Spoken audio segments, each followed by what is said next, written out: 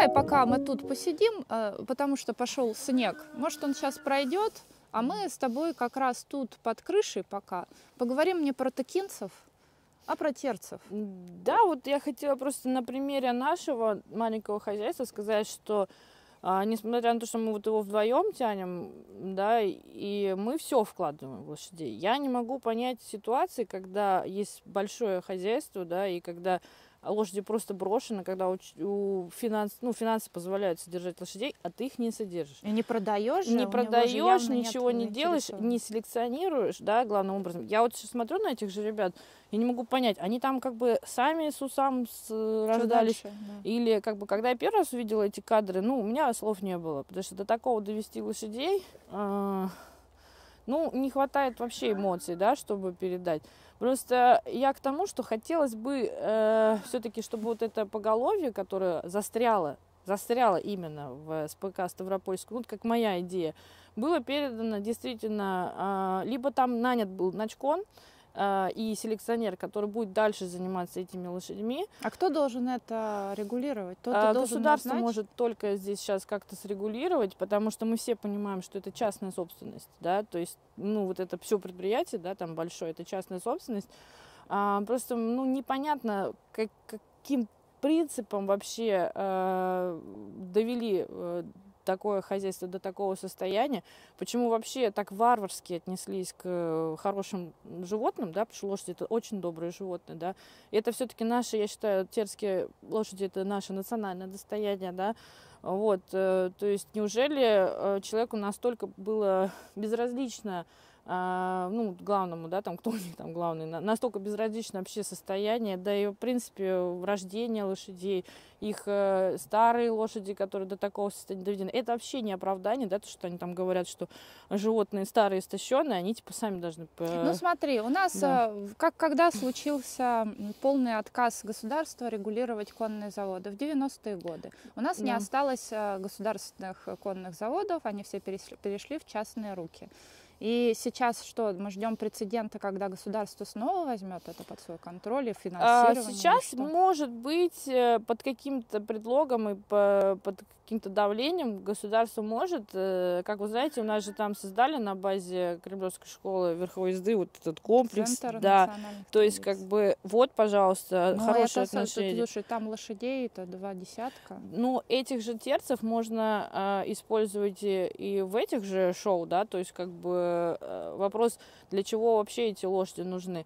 То есть э, я так поняла, что там ситуация в том, что заброшенное поголовье хозяину это не надо, то есть он пользуется только землей, а вот, но, извините, там вполне бы хватило в год, э, я не знаю, скажем так, 100, э, 100 миллионов рублей, чтобы поднять это хозяйство и все поголовье с нуля. Ну, там сколько, говорят, 200, да, голов? Там 200, еще. ну, чуть-чуть уже меньше. 174 Чуть-чуть, да, то, да, там, но все равно, это же не вот как у нас, у нас там 30, э, да. А вот скажи мне, пожалуйста, ты частное хозяйство, вот это твои лошади, угу. и, допустим, заходит какой-то человек э, сердобольный, тут же у тебя можно пройти. Ну, у нас такого прецедента не было, чтобы нам там... Э, ну, да, да, да, да, да, да. да, скажу вопрос.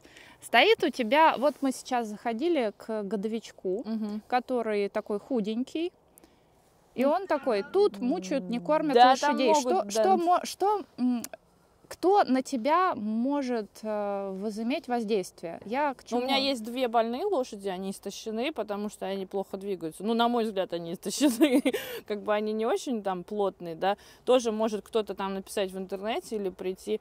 А, да просто да. написать, я про другое. Да. Кто-то может на тебя надавить и повлиять на то, что чтобы ты, не знаю, покормила эту лошадь. Ну, чисто теоретически любой человек, да, там, любая инспекция может прийти, да, там, и взять под контроль и надавить. Серьезно? меня... Это, это регулируется законом? А, это может регулироваться вот Россельхознадзором, это первое, ну, ага. на мой взгляд. А, потом, ну, ветстанция, у нас всегда ветстанция приезжает, делает вакцинацию, нас контролирует. То есть, как бы, во-первых, ну, у меня в голове не может уложиться, чтобы я там ну, довела до такого состояния. Подожди, я да. же не про то, что ты доводишь лошадей, не, я а про говорю, то, что э, тебя, например... Я считаю, что вот с, в районной ветстанции, это первое, да, угу. вот, которая может... Хотя мы все прекрасно понимаем, что если ветеринария как бы практикующая, да, когда э, ты непосредственно ветврач, который лечишь, чинишь угу. там, Ну, ты обращаешься лошадей, да. туда за... Да, это вот одно дело. А, второе, ну, вот э, Россельхознадзор, которому, кстати, подчиняются вот эти все а, ветуправления, а, они могут, они уже чуть выше находятся на региональном они уровне. Они могут или они да. это делают? Скажи, вот. Они должны вопрос. это делать. Должны, но они должны, делают. они могут это делать. Ну вот смотри, да. вчера появилась информация, что не пускают ветеринарных врачей сторонних на территорию конзавода. Да, там было сказано, что врачи Федерации конного спорта. Да. Но я не совсем понимаю, как бы, э, почему а, Почему федерация Именно, этим Да, занимается? федерация а этим, кто этим должен? А, Просто... Есть, э, во-первых, врачи частной практики. Так да? их тоже не пускают э, никаких. Они, я так понимаю, прикрываются тем, что это частная собственность. Да, я про это вот вопросы и веду. Вот ты владелец лошадей. Я, например, Если бы, допустим, гуляючи меня увидела. не было у хозяйства, да, и я была где-то бы, как вот мы предполагаем, этот владелец, может быть, вообще там не в России, да, вот, Скорее и если бы мне предложили такую помощь, я бы открыла ворота и сказала, конечно. Ему это не надо, ему это, ему не это невыгодно, потому что будет понятно, что с лошадями что-то не то, Просто и он поним, виноват Понимаете, вот если так даже примерно предположить, что в месяц на кобылу по себестоимости, ну, на лошадь, да, там должно, ну, минималка, да, там себестоимость, я говорю, 15 тысяч рублей в месяц. Это вот за эти деньги можно сыто покормить лошадь. Ну, верно, мы да. же понимаем, что дело не в деньгах.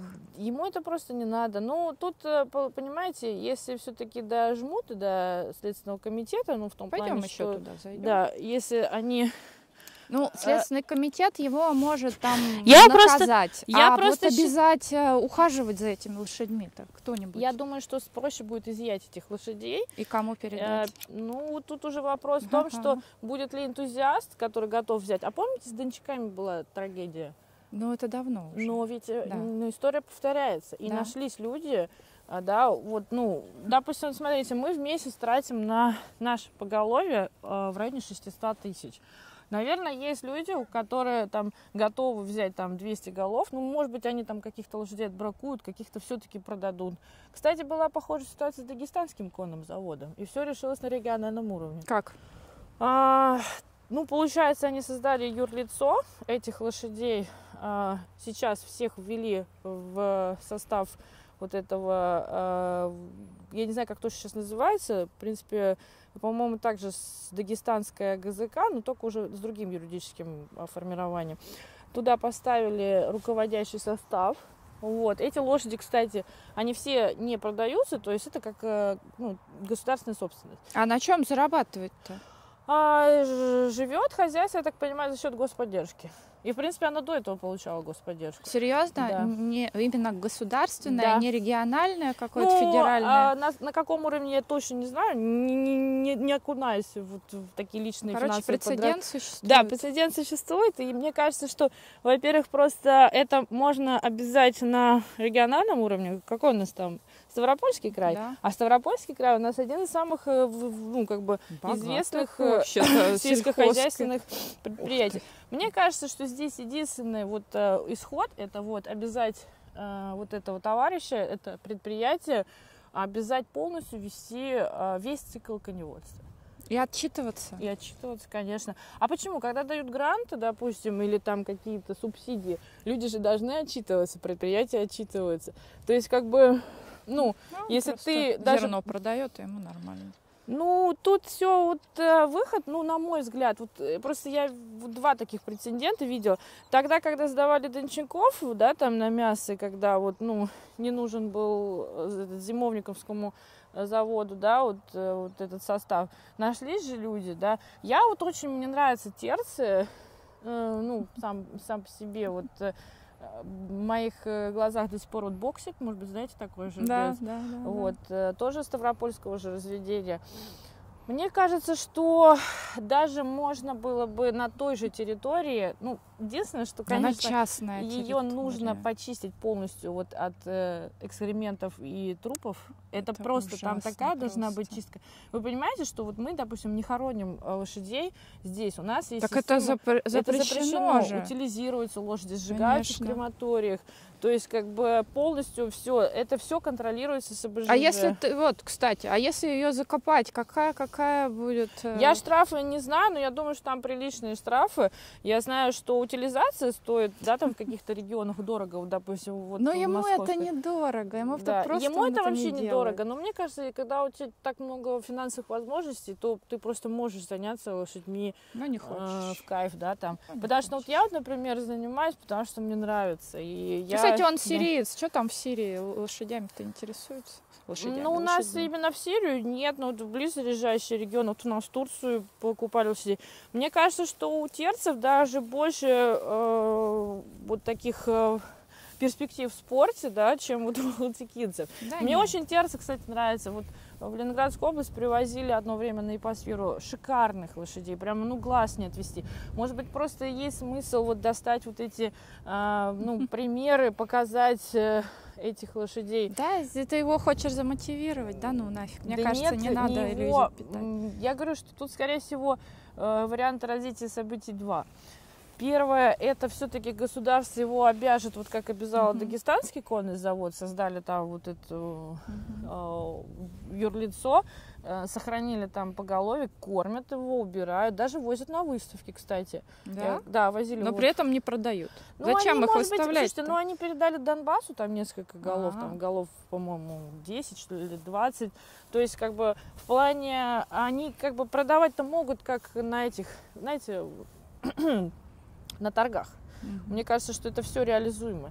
Просто пока у них и поголовья так такого нету, они там просто начали все создавать. А с терцами второй вариант развития событий. Все-таки лошади изымаются, они находятся на ответственном хранении, за ними ухаживают. Ну, Мгм. понятно, что это только из бюджета можно, да, там выделить деньги. Ну, это все равно не такие большие деньги, да, там на содержание лошадей, а, чем, ну, чем так опозориться, понимаете? Потому что то, что по интернету еще они так Ой, да. они так еще смело заявляют, что это фейк вообще. Ну, ну как Да. бы это не то, что это до слез обидно вот такое слушать. Вот. Мы все прекрасно это там еще где-то в апреле примелькала такая история. Это не фейк. А ухаживать за лошадьми, знаете, ну не так уж и сложно.